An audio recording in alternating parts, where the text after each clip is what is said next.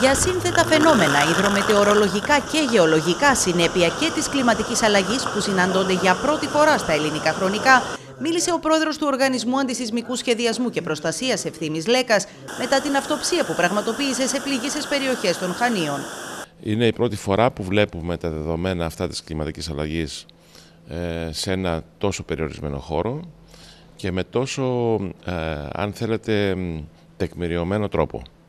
Έχουμε να κάνουμε καταρχάς με μια υψηλότατη βροχόπτωση η οποία υπερβαίνει βροχοπτώσεις πολλών ετών στην ε, ε, Δυτική Κρήτη. Ε, μια βροχόπτωση η οποία χαρακτηρίζεται όχι μόνο από το ύψος της βροχής αλλά από την έντονη ραγδαιότητα το πρωί ο πρόεδρος του ΟΑΣΠ είχε συνάντηση με τον Περιφερειάρχη Κρήτη Σταύρο Αρναουτάκη και τον Αντιπεριφερειάρχη Χανίων Απόστολο Βουλγαράκη, τους οποίους ενημέρωσε για τα επιστημονικά δεδομένα που προκύπτουν και θα πρέπει να αποτελέσουν τη βάση των μελετών και των έργων αποκατάστασης. Τα καιρικά φαινόμενα που εκδηλώθηκαν στο νομό, προκαλώντας βιβλικές καταστροφές, συνδυάζουν τη μορφολογία του εδάφους, τη γεωλογική δομή και το υδρογραφικό δίκτυο της περιοχής. Έχουμε τον εγκλωβισμό όλων αυτών των φαινομένων ουσιαστικά σε ένα μορφολογικό πλαίσιο που προσωμιάζεται με μια χωάνη. Η χωάνη είναι στραμμένη προς τα βόρεια και όσο πάμε προς τα νότια γίνεται πιο στενή και πιο ορεινή θα έλεγα και πιο ε, υψομετρικά μεγάλη. Είναι η πρώτη φορά σύμφωνα με τον πρόεδρο του ΟΑΣΠ που η έντονη βροχόπτωση είχε επίδραση και σε γεωδυναμικά φαινόμενα.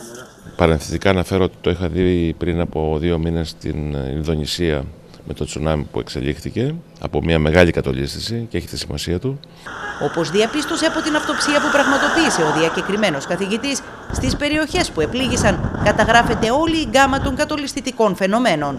Έχουμε να κάνουμε δηλαδή με καταπτώσεις ε, βραχοδών μαζών, ολιστήσεις βραχοδών μαζών, ροές κορυμάτων, ροές εδαφών, ε, κυκλικές κατολιστήσεις, περιστροφικές κατολιστήσεις ε, και βέβαια άλλες σπορές.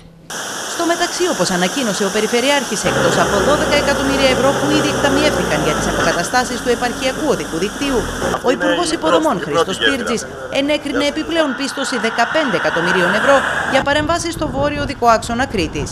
Ταυτόχρονα εκπονείται με διαδικασίες εξπρές μελέτη αποκατάστασης για τη γέφυρα του Πλατανιά. Έχει δοθεί εντολή από τις υπηρεσίες, γίνεται η μελέτη για να προλάβουμε τη θερινή περίοδο και να αντικατασταθεί η γέφυρα που μπήκε από το στρατό. Θεωρώ ότι μπορούμε μέσα στο μήνα να έχουμε την μελέτη, ούτως ώστε άμεσα να ξεκινήσει το έργο κατασκευής ε, της συμπλήρωσης της γέφυρας. Λοιπόν μπορούμε άμεσα να προχωρήσουμε με τα πρώτα 12 εκατομμύρια για τη διασύνδεση των ε, οδών με, το, με τους κεντρικούς άξονες ε, του νομού. Παράλληλα, η Περιφερειακή Αρχή ολοκληρώνει μέσα στις επόμενες ημέρες τον φάκελο που αφορά στο αίτημα για πρόσθετη ενίσχυση από την Ευρωπαϊκή Ένωση, δεδομένου ότι το κόστος αποκατάστασης των καταστροφών στα Χανιά εκτιμάται ότι ξεπερνά τα 130 εκατομμύρια ευρώ.